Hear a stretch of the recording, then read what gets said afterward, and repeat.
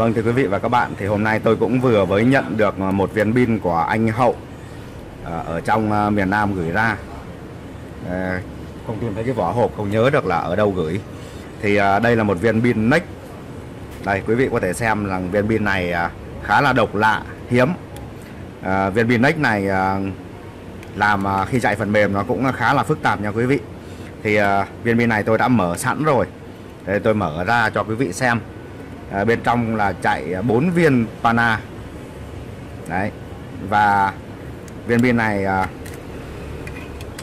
chạy chip là BQ 8055 ờ, đây quý vị có thể xem.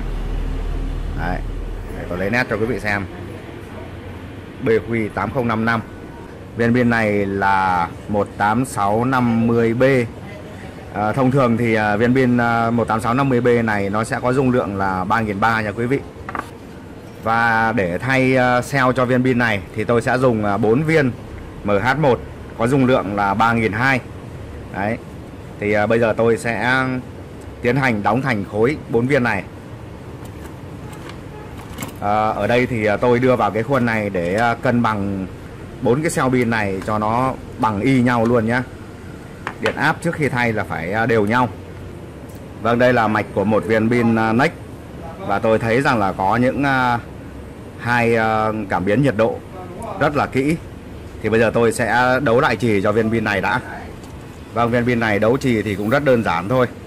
Tôi uh, kết nối hai chân này lại với nhau và tôi bỏ cái phần chân thứ ba đi. Thế là xong thôi.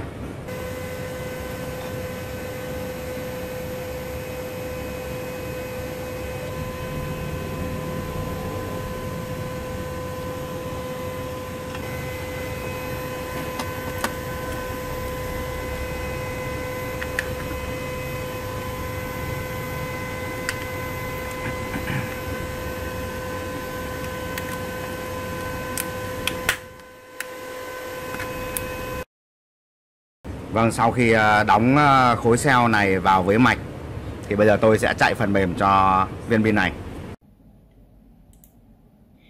Vâng thưa quý vị và các bạn, sau khi kết nối viên pin Next với lại hệ thống phần mềm thì tôi được kết quả như sau. Thứ nhất là Thứ nhất là sức khỏe viên pin này chỉ còn có 27% và hiện tại thì viên pin này đã bị khóa dòng xả và dòng sạc ở cái phần à, trên current và trên volt này thì nó đã đỏ lên, chứng tỏ là nó đã khóa dòng xả và dòng sạc. Thì viên pin này có dung lượng như tôi dự đoán hồi nãy là 3350 và điện áp của 4 cell pin khi mà mới thay vào thì khá là đều nhau. Rồi thì bây giờ tôi sẽ tiến hành để reset viên pin này. Thì à, trước tiên thì tôi sẽ cho nó đọc hai lượt để lấy thông tin. Và tôi à, sẽ chọn kênh Senior Texas Instrument đấy và tôi sẽ chọn vào phần ờ, BQ805XX và tôi đợi một chút để cho nó hiện cái ờ, bảng tùy chọn lên và bây giờ tôi sẽ đọc ROM đấy và tôi lưu vào một cái mục là BQ8055 Sanier. Vâng, sau khi lưu xong thì đợi cho nó đọc xong cái bản ờ, ROM này đã. Như vậy là thành công rồi thưa quý vị. Tiếp theo thì tôi đọc file sen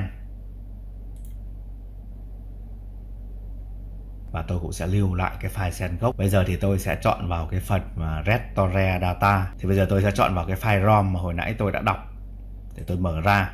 Đấy thì tại đây thì tôi sẽ chọn vào kênh 3 và tôi ờ, kích vào default. Tại phần này thì tôi sẽ chọn là 3002 tương đương với lại dung lượng của sáu pin mà tôi vừa mới thay vào.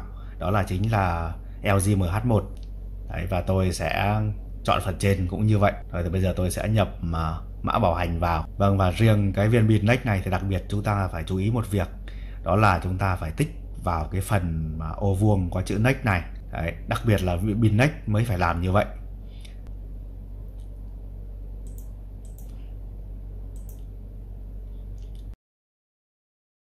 Vâng, sau khi chạy xong thì tôi kích vào check xong để chúng ta thoát bút. Rồi thì bây giờ tôi sẽ cho đọc dữ liệu viên pin xem nó như thế nào nhé. Đây rồi thưa quý vị, như vậy thì à, viên pin này sức khỏe hiện tại đã là 100%, dòng xả và dòng sạc đã mở và dung lượng tổng của viên pin là 3200 theo đúng cái sao pin MH1 mà tôi vừa mới thay vào. Rồi thì bây giờ tôi sẽ xả thử. Đây rồi thưa quý vị, như vậy thì đã xả ok rồi nha. Bây giờ thì tôi sẽ sạc thử. Vâng và như vậy thì cũng đã sạc ok rồi nha thưa quý vị.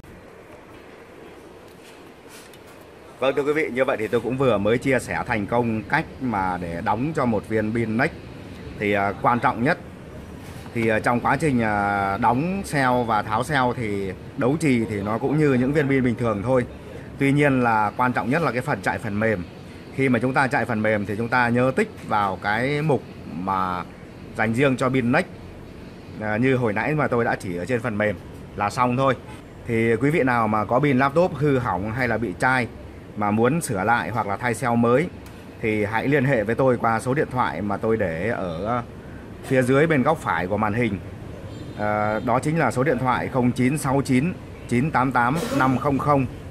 Tôi xin nhắc lại là 0969 988 500. Thì ờ, số điện thoại này thì ờ, tôi cũng có kết nối Zalo.